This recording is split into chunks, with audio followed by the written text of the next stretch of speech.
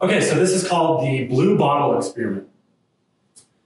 What I did is I prepared a solution containing glucose, simple sugar, uh, sodium hydroxide, which is a base, and uh, methylene blue, which is a dye.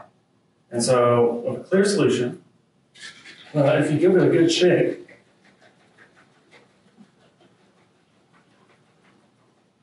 goes blue.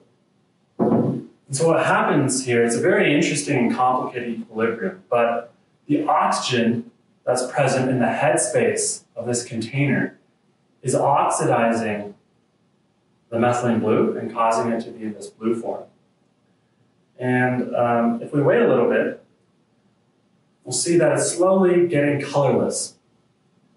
And what's happening there is the glucose that's in solution is a reducing agent. And so it's causing that methylene blue to turn back to its colorless form. And so you can repeat this. Um, several times. And again, this is a, a redox reaction. Two different species that are doing the oxidation and the reduction.